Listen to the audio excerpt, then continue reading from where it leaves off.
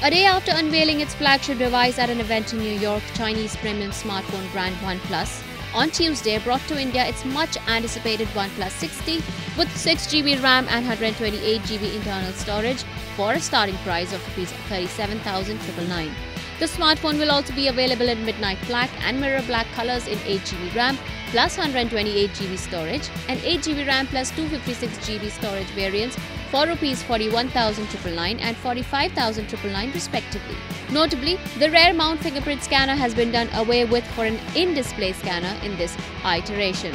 Featuring screen unlock, the industry's fastest in-display fingerprint technology, the smartphone provides users with a fast, natural and intuitive way to unlock their device, thus benefiting from a large display with minimal bezels, according to the company.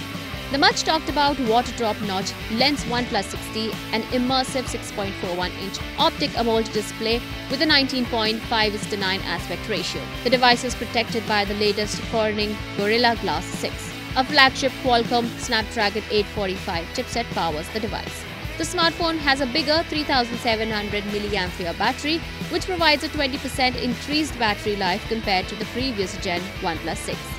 The OnePlus 6T's camera includes software optimizations and added feature such as the Nightscape feature, which assists in capturing low-light urban environments with improved clarity, less noise, accurate color reproduction, and battery dynamic range. The camera hardware boasts of a combination of 16 megapixel f-stop 1.7 and 20 megapixel f-stop 1.7 rear-facing cameras with optical image stabilization and electronic image stabilization features, while the front-facing camera is a 16 megapixel sensor with f-stop 2.0 aperture and EIS.